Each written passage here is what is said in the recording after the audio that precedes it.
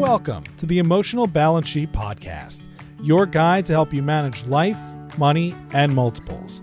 Each episode, host Paul Fenner, TAMMA Capital's president and founder, and the proud parent of four amazing children, including one set of triplets, will provide insights on successfully sustaining an active lifestyle, career, and family through comprehensive wealth management strategies, financial education, and lifestyle planning specific to parents raising twins, triplets, and more. Learn more, subscribe to the show, or connect with Paul at tammacapital.com. This podcast is for informational purposes only and should not be relied upon for investment decisions. Clients of TAMMA may retain positions in the securities discussed in this podcast. My guest this week is Shayna Levin, a mom of twins, a licensed property and casualty insurance agent, and the owner of Levin Insurance Agency with her husband Jeff. Levin Insurance Agency is an independent insurance agency, which means Shayna's team represents many different companies that allow them to choose the best carrier for their clients' insurance needs. In our conversation, we talk about all facets of the property and casualty insurance landscape, especially in Michigan, where auto reform is a hot topic. Shayna explains what the new auto reform law means from both a cost and coverage perspective. From an insurance cost perspective, we talked about how there's greater emphasis on tickets and accidents and frequency and severity on your insurance rates for both home and auto than any other factors. Specifically for families with young drivers just starting out, Shayna identifies three ways to reduce your auto insurance cost. Shayna also addresses the value that an umbrella insurance can have as part of your comprehensive wealth management plan. She refers to umbrella insurance as an asset insurance policy, which is a very low cost option to extend your liability protection. Finally, Shayna talks about the challenges of operating her business remotely during the early days of COVID 19 while homeschooling their twin children, and how life and business have changed since the economy has begun to open back up. Please enjoy this conversation with Shayna Levin. I'm excited to have you on the show today. It's going to be really interesting because Shayna has, a, I think, a unique take on this whole COVID situation because she is the mom of twins. She's also a small business owner with her husband. And in the state of Michigan, where we're both located at, we have a plethora of insurance changes coming down the pipe. I guess they've kind of been already implemented, Shayna, I guess, to a certain degree, with our auto insurance. And so I think that's a good place to start is talking about your background in the auto insurance or homeowners insurance industry. Talk a little bit about what you do, and then we can dive a little bit deeper into these changes that are affecting everybody and just the plethora of questions I get from people. I'm like, what does this mean? Are my rates going up or down? Because I've lived all across the country, well, I guess seven or eight different states. And ironically, I've lived in two states, Michigan and Kentucky, where they have this no fault law. So I'll be really interested to get into the detail behind that and try to explain that for our listeners because I'm sure you do this every day and it's still complicated, I think, for, for most of the general public. So I'll let you take it from here. All right. Well, thanks, Paul. I really appreciate you having me on the show today. So, I have been in the insurance business for just over six years prior to getting into insurance. I sold mortgages for 10 years. So when I left the mortgage business, insurance kind of seemed like a good transition. I went from working for someone else to working for myself. We've started now two different insurance agencies. The current agency in Commerce Township we've had for a little over three years. So we do personal insurance, so auto insurance, home insurance, and then the toys that go along with them. And I do work with my husband, Jeff. I work in the office working with customers and our staff, and Jeff works behind the scenes with our marketing and financial stuff right up Paul's alley. So there has been a lot going on with auto insurance reform, and it has been a crazy few months. Auto insurance reform by itself was insane. It started being talked about in May of 2019. The governor signed a bill saying this needed to get done. The bill was going into effect July 2nd, 2020. Well, in between that, March 2019 happened, and now we're in the middle of a pandemic, so we had to shut down our office. Everybody went to working from home, but all of our insurance carriers were right on the cusp of rolling out their changes for auto insurance reform. How are their computer systems going to work? How does the law work? So we had to go from having all these scheduled in person meetings to doing everything virtually. I had to teach my team about all of these different changes virtually and still had to run our business. We still had customers who needed new insurance outside of auto insurance reform. They bought a new car, they bought a new house, just whatever. So it was very crazy for a couple months there at home. The first few weeks of July were crazy. I was working 15 hours a day, seven days a week. It was rough, but thankfully it has slowed down a bit. And the changes, uh, from what we found, are not as drastic for most people as the media and the politicians would make you believe. A lot of people read the headline, Your insurance will be cut 45%. But what the media didn't even understand, let alone talk about the right way was that there's only one piece of insurance that was going down. If you've ever looked at your declarations page, which is the, the piece of your insurance policy that breaks down all the coverages, each coverage has its own price. And the price of just one of those was supposed to be going down, but it only goes down 45% if you get rid of a coverage. So it's much more complicated than what the sensational headlines would make you believe. And now I actually just yesterday or the day before searched for auto insurance reform Michigan on Google to see if there was any new news articles. And there hasn't even been a news article in the last three or four weeks about it. Obviously, politics has taken over, but it was this big thing leading up to July 1st, and then it's just gone quiet now, which is good because it helps us catch up a little bit. I noticed that myself where there was a lot of headlines about this earlier in the year, and obviously COVID took over if I understand it right, one of the reasons that makes auto insurance so expensive in Michigan is this unlimited liability. Like if you get hurt in an accident, your medical coverage is paid for in perpetuity. Is that the right way to think about it? Yeah, you used the wrong word though. You used the word liability. So there's two main pieces with auto reform that people get confused but are both pieces that are changing with reform. So there's liability, which is the amount of money that you're on the hook for if somebody sues you if you're in an accident, and then the amount of money the insurance company, the amount of coverage you have for that insurance company to defend you. And then there's the medical coverage. And up until July 2nd, and still on your policy if you haven't made any changes, in Michigan, we've had unlimited medical coverage. No dollar cap, no time cap. We're the only state in the country that has this it's expensive not only because there's no cap, but because there's been doctors, hospitals, contracts that have taken advantage of this unlimited offer. So it's like if you've ever gone to the chiropractor, the very first question they ask you is, Is this from an auto accident? And then you say no, and they're like, Are you sure?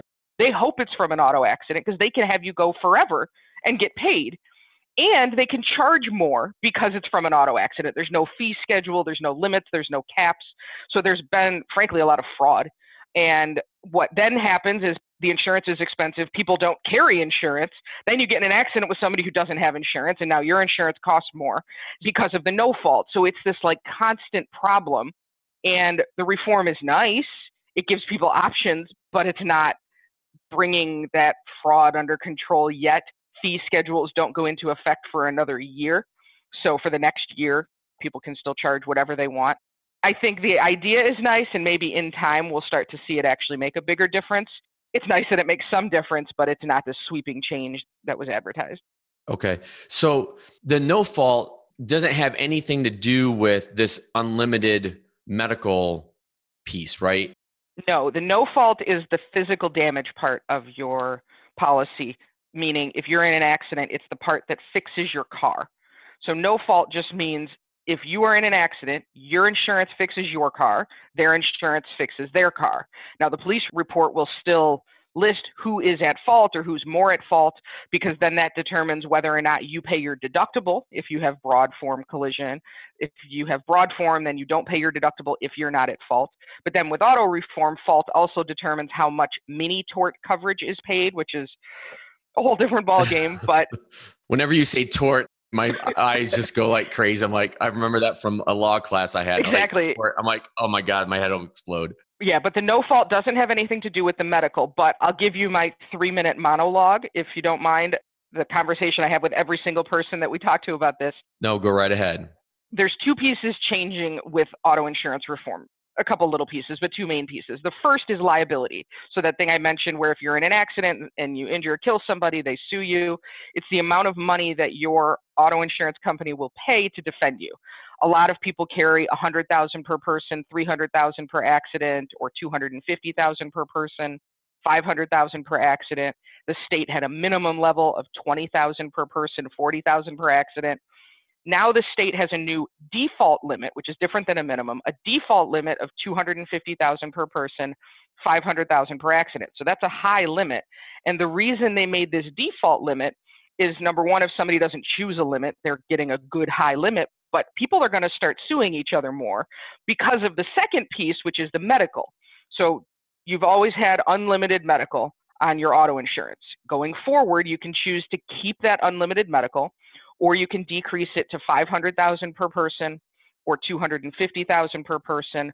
Or if you have Medicaid, you can drop it to 50,000 per person or Medicare, you can completely opt out.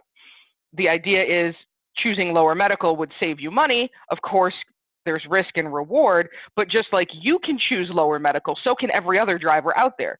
So now, if you're driving around and you get in an accident with somebody who's chosen a lower medical limit for themselves, and their medical bills exceed the coverage they chose, now it's your fault. Where before there was no real gap in the medical coverage, you could still sue somebody if there was death or serious disfigurement. But now it's any economic change. So if you can't afford your bills because you chose to opt out, the person who hit you now better hope that they had really high liability coverage because now you're getting sued for something you couldn't get sued for before or there wasn't much opportunity.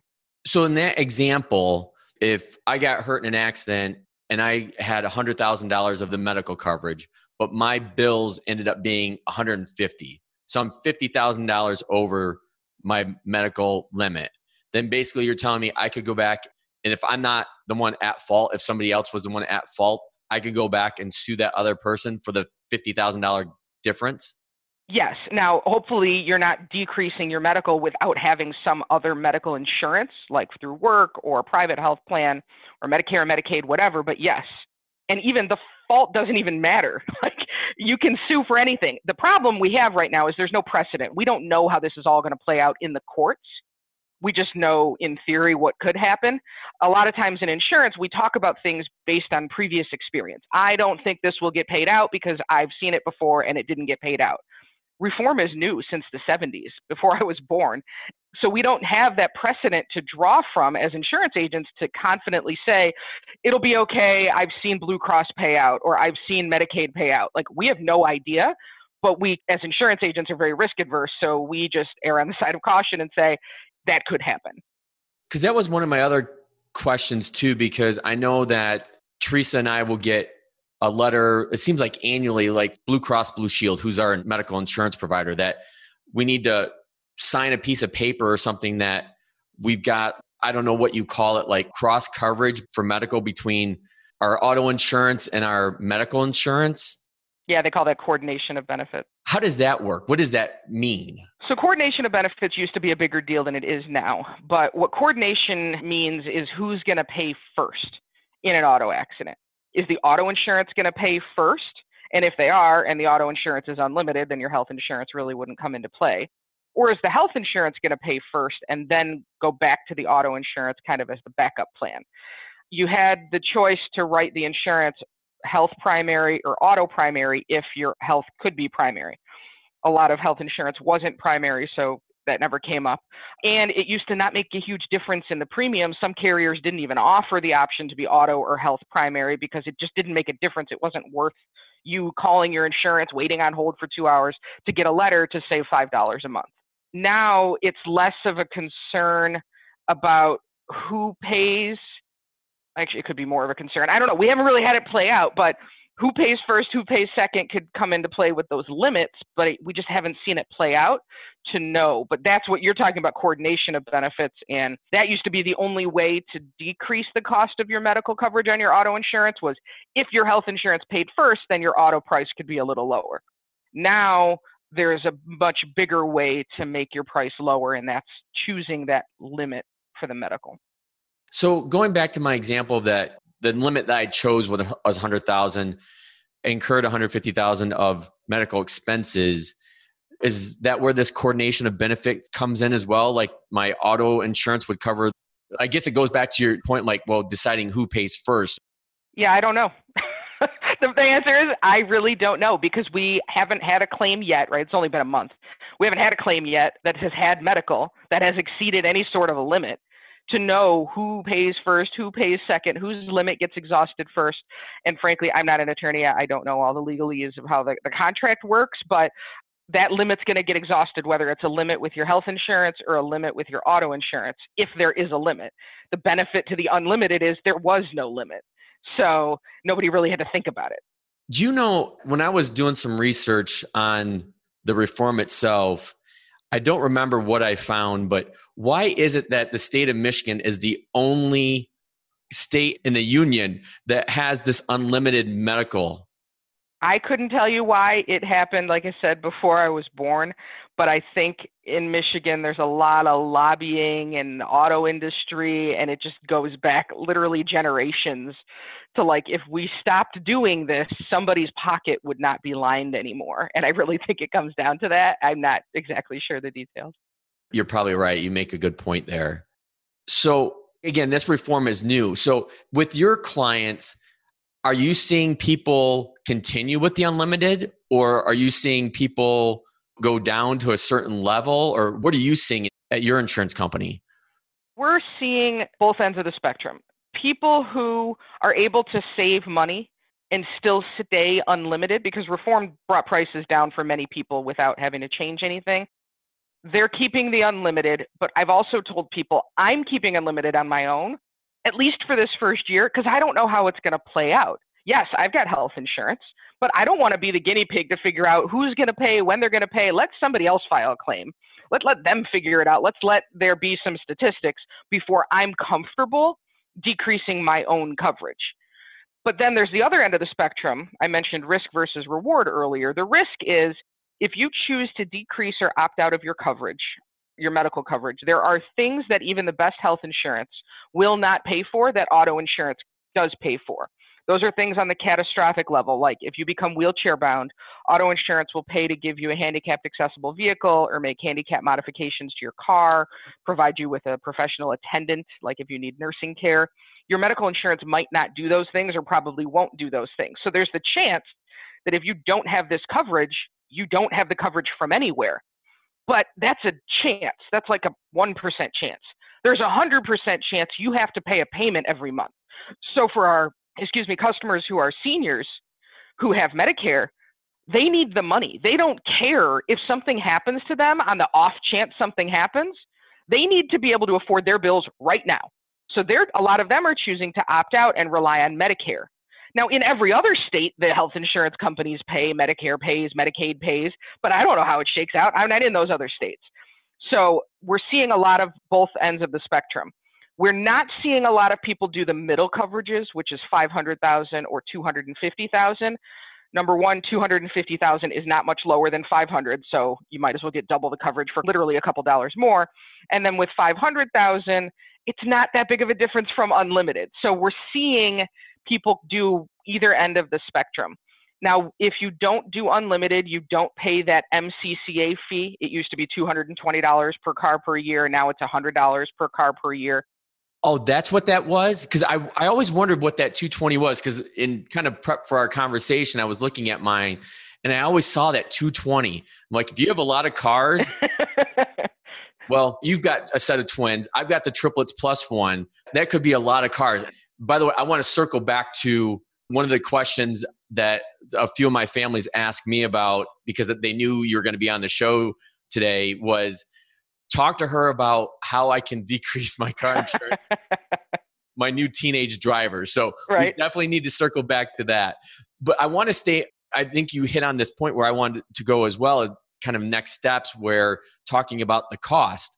So there's two questions here for you. One is you mentioned that just with auto reform in general, you guys have seen costs come down. Was that correct? Did I hear you say that right?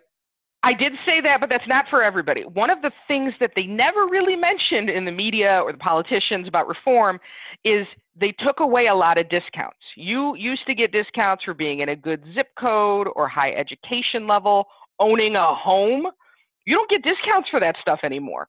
So, depending on how much those discounts were helping you, once those get taken away, for some people, we're actually seeing prices go up with reform that is totally unexpected and that's a fun conversation to have with people but it's just the part of it that they tried to put everybody on a level playing field but when you do that there were people that were up here that are going to come down but there were also people up here that are going to come up. Same thing with tax reform. When we had tax reform there were winners and losers and try explaining that to somebody that actually lost out because the salt tax which is state and local income tax. So here in the state of michigan we have what four and a quarter state income tax and so a lot of people hit that $10,000 cap, they lost the benefits of those deductions. Yeah, so without getting too complicated, your family is a great example.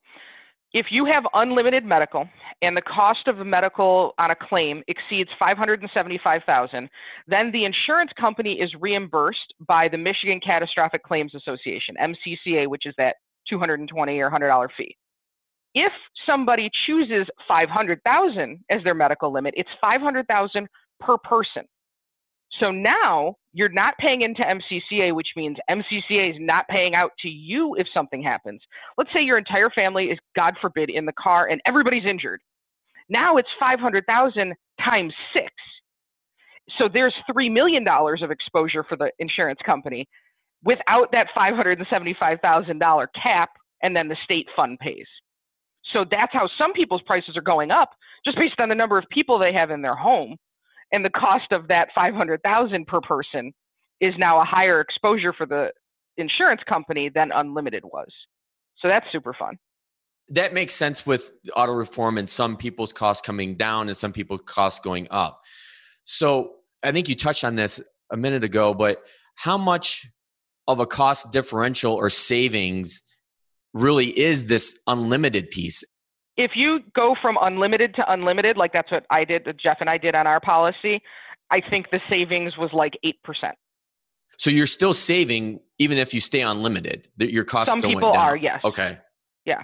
Now this doesn't affect your insurance, auto insurance, until your renewal. So let's say you don't renew till February. Don't expect your price to go down unless you do something before February.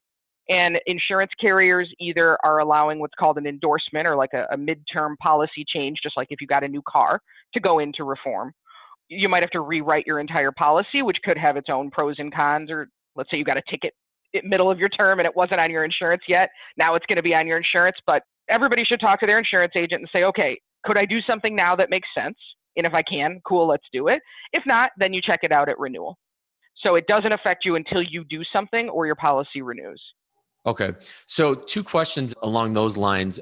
Is it better, and maybe it's different by insurance company, but is it better to look at getting a full year policy rather than a six month?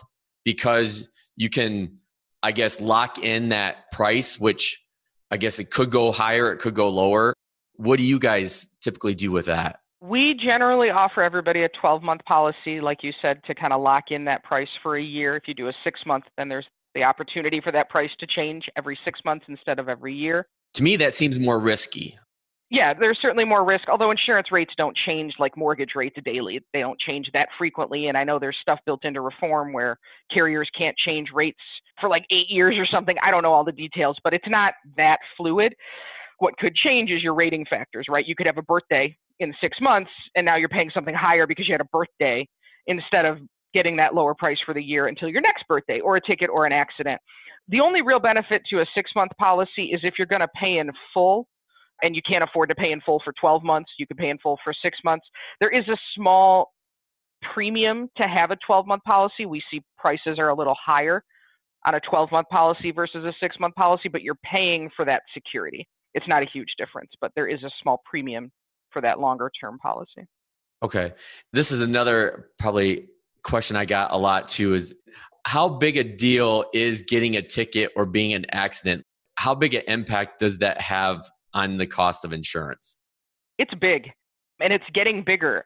we saw something interesting happening. Time is lost on me anymore. I want to say last year, but it could have been earlier this year, where people who did not have a ticket or an accident in their most recent policy term, but had a ticket or accident in the previous policy term or even two before that, their prices were going up. And what we dug in and figured out was carriers are putting much more weight on previous claim and ticket activity than they used to.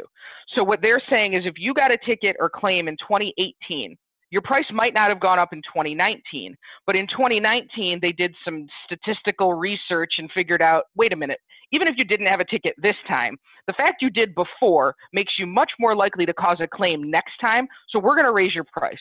So it is big.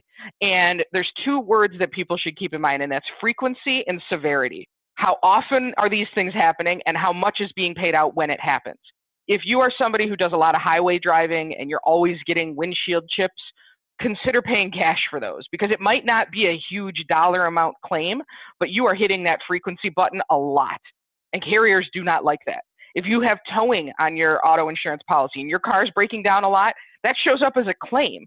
Don't use your auto insurance roadside assistance. Get a AAA policy or some other policy for that roadside so that your insurance rates aren't going up because of things that you see as very minor. Even if you get into a not at fault accident, it's not your fault but your rate is going to go up because your insurance paid out.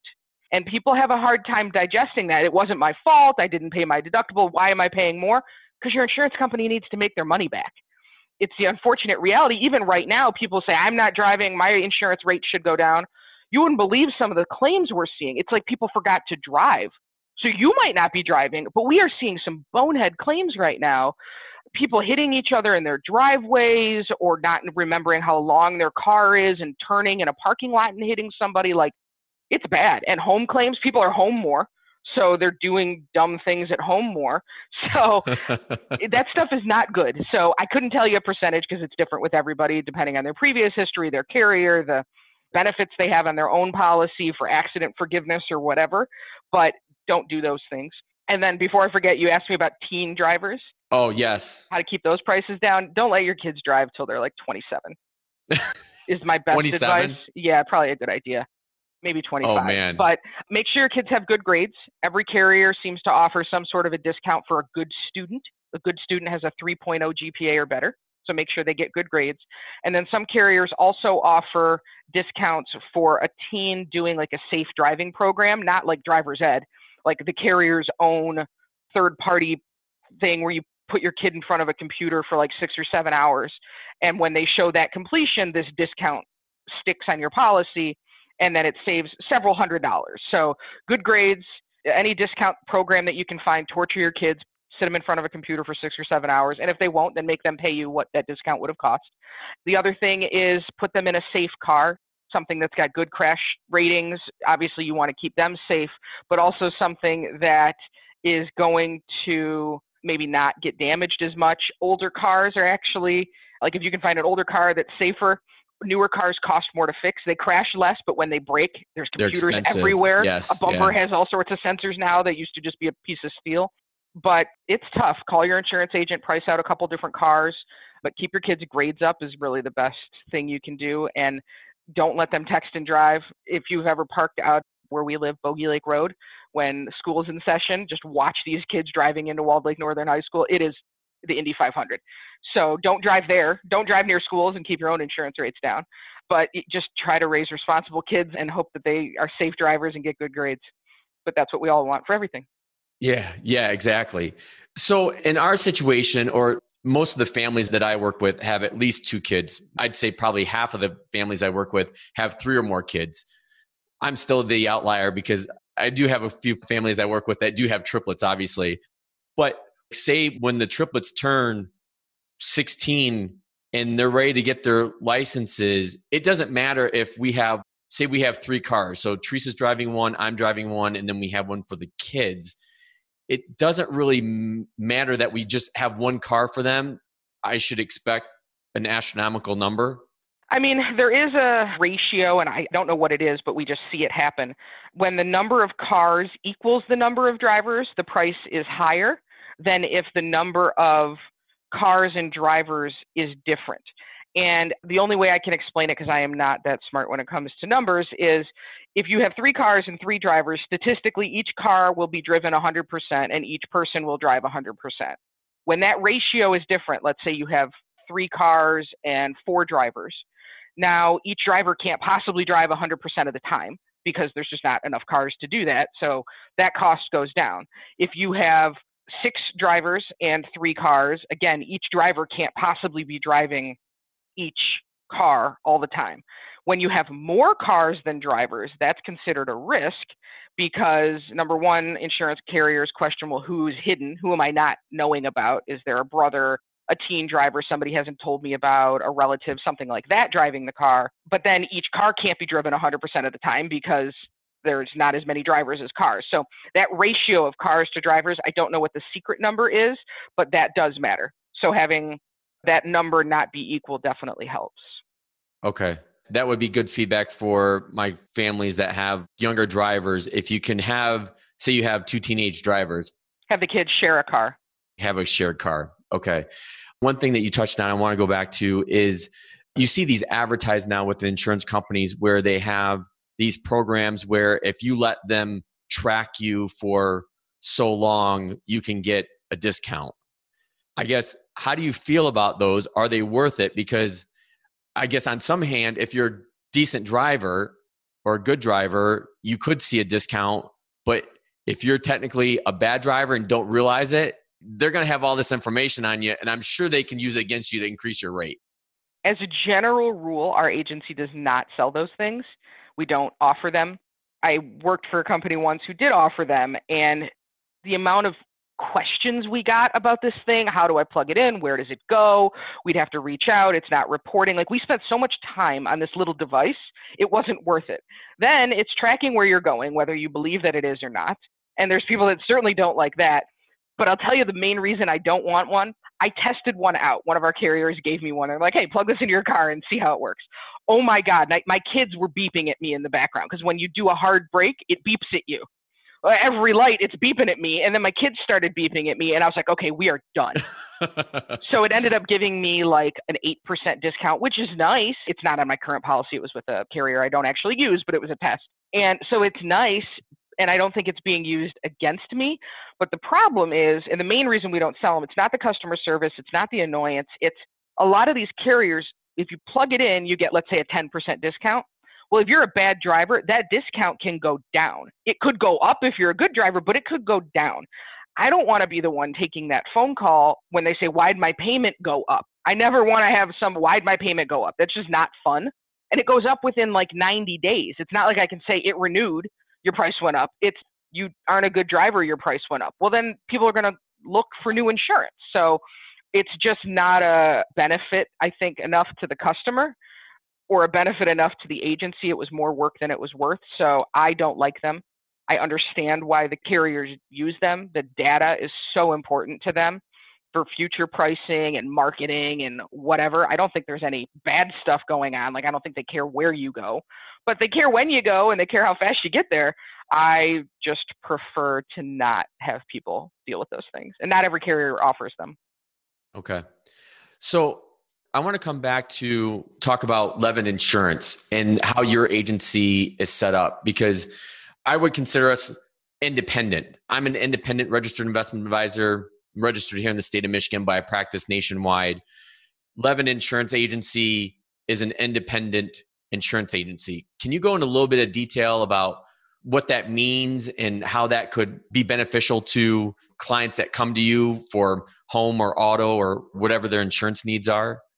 Absolutely. So there's two different ways to skin the personal insurance cat, if you will. There are captive or exclusive agents, that's your Allstates, your State Farms, your farmers.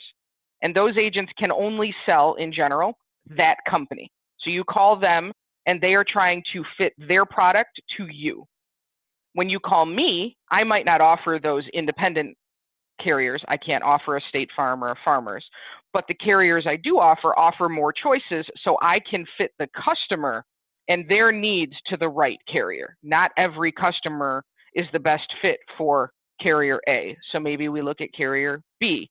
Or carrier A has a price that's not great. Now I look at carrier B and say, hey, that's a good price and that's good coverage. So it gives people more options, more flexibility, and it allows me to build a longer term relationship with customers.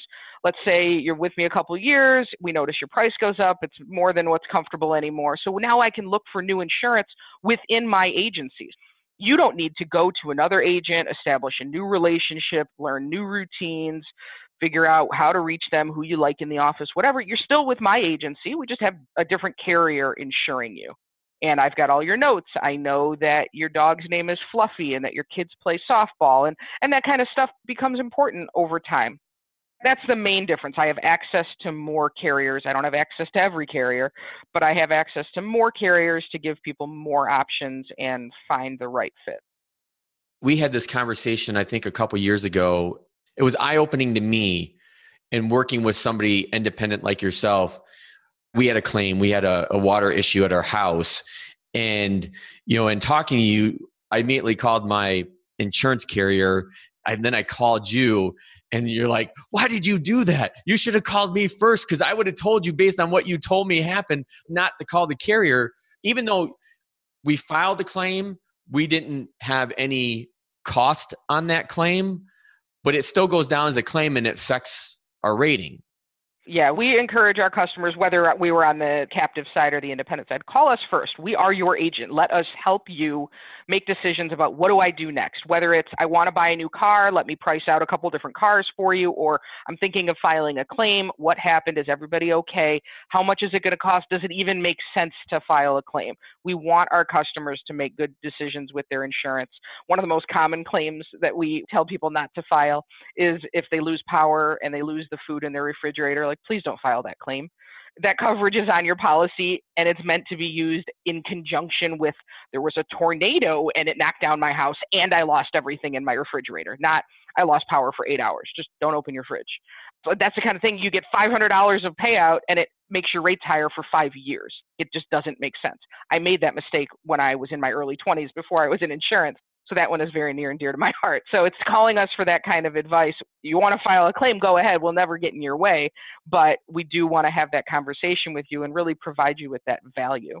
I think that's really, really important because I don't think a lot of people are in that mindset. Because I know when people first start working with me, even though I've explained to them, hey, this is beyond numbers, I am going to be really into your life, both on the personal and the financial side. And so when things come up like a job change or some kind of life transition that they think, man, I need to pick up the phone, talk to Paul about this, whether they got a job offer or they're looking at moving companies or whatever it may be, some kind of life transition, until they go through at least one of those with me and then they get how I really work and operate, then they're like, oh, I'm calling Paul because I need to look at refinance my mortgage and he'll know the person to call. Just like when I've referred people to you. And I think building that relationship is paramount. And I don't think people really think about that building a relationship with their insurance provider. And that's why I send people to you. That's why I love working with you because we have that similarity where you go above and beyond because you really care about the families, the clients that you serve, the community that you work in because you want to help them. You and Jeff genuinely want to help people. And I think that's so important in establishing these long term relationships. Yeah, I agree. And we love working with you. And a lot of times, insurance is like the last stop on somebody's financial journey. So we often can't repay the favors when people send us referrals, although we send awesome gift baskets at the holidays. You do. You do. my kids um, devoured popcorn. I love helping my friends and family and people local in the community. I know the area. I know people. Like, imagine, would you rather have somebody insuring you who you've never met, who is in some call center in Texas, doesn't know Michigan, doesn't know Michigan's insurance laws, doesn't know Michigan's weather, doesn't know that your home is super fancy on the inside. They just know how many square feet it is. Like, who's going to be the person to better insure you? And if my friends come to me, I'm honored. I never, ever ask my friends about their insurance. I'm here, but it can get awkward. So I, I, try to leave it out of the conversation as I know that you do as well. But you're there. And even if it's somebody who's not your customer, I know that both of us are always happy to provide advice. I've had lots of people reach out to me about reform. They're not my customers, but I'm happy to give them advice. I think that it's important to always just do the right thing and it will come back and you'll sleep really well at night rather than trying to do it any other way and, and not sleeping well at night. So, my last insurance question that I want to circle back to is the concept of umbrella insurance. I'm glad that was going to be the last thing I was going to have you bring up. So awesome job, Paul. Because I see this more and more with the families that I work with, is that I think most don't most don't understand. And if I were proposed, hey, I think you should go out and buy this umbrella insurance policy or more insurance, even though like I'm not an insurance agent like you, but when I look at it's part of what I do with holistic financial planning. I'm looking at their estate, their retirement, their insurance, their taxes, their education planning, the whole gamut. And what I see when I see a person with a lot of assets and a lot of assets, everybody thinks, well, a lot of assets is a million dollars or more, whatever the number is. But really, a lot of assets could be a couple hundred thousand five hundred thousand And most people that I work with have that sitting in IRAs, 401ks, taxable workers accounts. They have investments all over, and those all add up quickly. So I wanted to bring this topic up to you to maybe lay out what umbrella insurance is and why it's so useful and can be so important. The first thing I can say is if people stopped calling it umbrella insurance and started calling it asset insurance, I think it would help people's light bulbs go off because it's protecting your assets. Umbrella is a term because it is literally an umbrella over everything. It goes above and beyond your auto and your home insurance. It protects everything you own, but it's really asset insurance. And it protects you above and beyond the limits of liability on your auto insurance policy and your home insurance policy. You have to have certain minimum limits on your auto and home policy to get an umbrella, and then the coverage can go from a million, two million, five million, ten million. It can go very high. They also offer them for businesses, which is interesting. But it's just an extra layer of coverage, and it's so inexpensive. It's like, why wouldn't you do this? It's literally like a dollar a day or less for a million dollars unless you've got teen drivers or DUIs or something like that. So it's super inexpensive. And it not only covers what you have, it can cover what you earn. Let's say you've got a decent job and you're going to be making money over time. Let's say you're a doctor, fresh out of school, you might be making 30,000 a year, but in a couple years you're going to be making 200,000 a year. Well, if you get into an accident with somebody today at 30,000 a year income, but you're a doctor, you better believe they're calling Sam, and Sam's going to set something up where they're going to garnish your wages for a while because it's coming. Or let's say you drive a nice car and you're not in a not nice area, you are a target now because somebody figures you've got money. I'm going to try and sue you. I'm going to get in an accident with you, and now I'm going to sue you. Having that umbrella policy is like if you rent a car and you buy their insurance and you crash their car, you just toss them the keys and walk away. Like that's kind of what an umbrella insurance policy is. Like I'm covered, I'm good. Even if you don't have the assets now, but you might have them one day, you really want to make sure that you're protected. And what we're encouraging a lot of people with auto insurance reform is do whatever you want with the medical, but make sure that your liability is beefed up that minimum 250,000 per person, 500,000 per accident, that state default, that should be the minimum that you consider because anybody can sue you. That minimum used to be what was it 100, 300? It used to be 20,000 per person, 40,000 per accident. The minimum is now 50,000 per person, 100,000 per accident, but then they created this default of 250, 500. So if you don't choose something, or if you don't sign the paper, like let's say you had 2040, you don't sign the paper to keep the minimum, you're automatically going to go to 250, 500. Or you were at 100, 300 and you don't sign the paper and return it at renewal, you're going to go to 250, 500. You have to sign to do anything other than the default. And the default medical is unlimited. What we're suggesting to a lot of people is if you save money with auto reform, consider using that money to buy an umbrella policy. And with the carriers that you work with, are they able to bundle the auto, home, and asset insurance together or? Yes, you actually have to. You have to have an underlying auto to get the umbrella. The umbrella comes from the carrier who does the auto. We have one carrier that does it attached to the home. We do have some standalone. Let's say you've got auto and home somewhere else. I do have a carrier that does standalone umbrellas. You still have to meet the minimum underlying limits, but those standalones cost more than just doing it with the auto and the home. But if your agent is not offering that to you, find a new agent. Like you need an agent who's protecting you, not just collecting your premiums. Okay. Well, I think we'll now transition into a new topic since we talked about insurance for quite a bit. One of the things that's interesting about the launch of this podcast and having these conversations with a lot of people is that we go beyond just numbers and financial. It's about life, parenting, and of course, you got to throw in the word multiples. I thought the word was going to be COVID. I'll get to that in a second. But you and Jeff are in this unique situation where your husband and wife running your own business and you have a set of twins, okay, now I'll bring the word in COVID. COVID has hit. What has it been like for you and Jeff running the business, being at home with the kids, running your family? Talk to us a little bit about that and how it's been, I guess, the pros and the cons, because I think some people have really struggled and some people have done better. I'm grateful that I'm in a business that I could quickly pick up and move home. I think my team is as well. Uh, on March 17th, we moved every single one of our employees home, stayed there until June 1st. And so grateful to be in that business, not only as a business owner, but so then I could be there for my kids who also got moved home that day. Being self employed allows us that flexibility to always have somebody there for the kids, whether it's me or Jeff. We work a half a mile from the house, so I can always be home quickly. We've got awesome kids and i think that helps a lot. The business has just been part of our life together. Andrew my son loves to do spreadsheets and keeps track of numbers in the business and loves to figure that stuff out although he's been a little distracted this summer with summer camp but he loves to do the spreadsheets. They're bought in the kids like to come into the office and send out our postcards or prepare our folders that we send to people and and i think having the kids invested in the business helped us when we had to move home and okay, mom's here, but mom's got to work.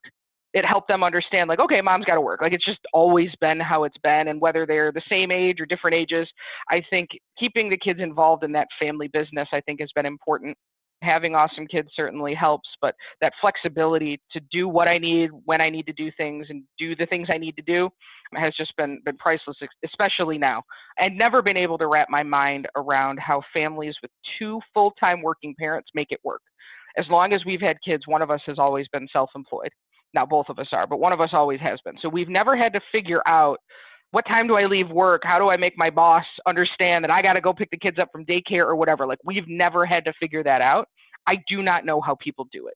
And I still don't know. And I certainly know even less now that kids are going to be home and mom and dad also have to work full time and kids actually have to learn. I don't know, but having one kid, two kids, 10 kids, I think being a strong family unit is what's getting us through it and having the kids understand the business and knowing when to leave mom and dad alone and, and when they can come in is is an important skill that they've developed. I think what you just hit on that last point, it's been more of a roller coaster ride where you can really feel the ups and you can really feel the downs. With us last summer, we put our kids through the school program called Prime Time for people that may not know what that is, but basically the school offers a program throughout the summer that the kids can go to eight to six or seven to six, whatever. They're with their friends, they're doing activities. And now we didn't have that this summer. And now we went from March to June with homeschooling, and now we're full time at home throughout the summer. Luckily, we have some help. But I agree with you. I really empathize with parents that both work, that are trying to figure this out still, and especially those that don't have the means to be able to maybe hire outside help. And that's been a real heartbreaker for me. And i think as we move into school in a few weeks here in metro detroit and parents are faced with this situation where they don't know what they're going to do and they don't have the means to be able to bring somebody else in this whole pod concept that we've talked about earlier and having somebody come in and help families there's still families that won't be able to afford that and i think that this whole situation covid is going to create a further divide between the haves and the have nots And personally, I'm looking for ways to be able to help within the community. Talking to one of my families yesterday, they see the same thing. He's a business owner and he's taking people in as like trying to get people. He owns a body shop collision. And so he's taking people in as an apprentice. He can see the struggles firsthand. So I don't know what the answers are. It's been a challenge. All the school districts, you know, have faced this challenge. I think some have handled it better than others, trying to give them the benefit of the doubt. But when school fires up here officially in two more weeks, there's still going to be a lot of families wondering, what are we going to do? Yeah, it's really unfortunate. And I wish I had answers. I'm a problem solver. And the answers I have are not necessarily answers people want or possible, but I think they could be. But it's tough. How do you help the people who can't work at home? Let's say you could afford to have somebody come in don't don't you want to spend time with your kids or now you're a frontline type of worker and coming home is perhaps unsafe or chaotic or I don't know. There's so much I don't know. I don't know how this is all going to work. There might be school, but kids need help. They need teachers, they need people, they need their friends and it's a challenge. It's tough. I'm grateful that Jeff and I have something that gives us the opportunity to not have to worry. I don't have worries that my kids won't have care. I don't have worries that my kids won't have help or that they won't have support. But there are so many people that are up at night worrying, and that is heartbreaking. So I'm going to line you up for my closing question. I'm going to twist it a little bit. One of my peers in the industry, he has this podcast and he has this closing question for everybody, which is the kindest thing that anybody's ever done for you. In a few episodes, sorry, Patrick, I stole your question. And so I've been trying to work on a new one. And since a lot of this podcast is family based, I thought I'd try this one with you, Shayna. What is the one thing that you love the most about your family? Oh, wow. My family. I love that my family is there no matter what whether it's my extended family and you know we've all been through tough times whether it's sicknesses or death or financial issues or whatever political craziness everybody's still family at the end and that always comes first my immediate family we're all very patient with each other we're together more now than we ever have been. And I think that we like being around each other, and that's helping us get through everything. But we're being patient with each other. And I think that when you like the people you're with, whether it's at work or at home or socially, it makes life a lot more fun. And I like that my family puts family first. All right. Well, I think that's an excellent ending to close out our conversation. Shayna, I cannot thank you enough. In the show notes, I'll put some links out to Levin Insurance and how to reach Shayna. Like I said, I love working with you, Shayna, and the fact that you take such great care of your clients and families and provide a lot of value. So, thank you so much for being on the show today and look forward to continue this conversation offline. All right, Paul. Thanks for having me. I really appreciate it. Thank you for listening to this episode of the Emotional Balance Sheet Podcast. Please visit tammacapital.com to subscribe to this podcast or to connect with certified financial planner and registered investment advisor Paul Fenner of TAMMA Capital. And please join us again next time on the Emotional Balance Sheet Podcast.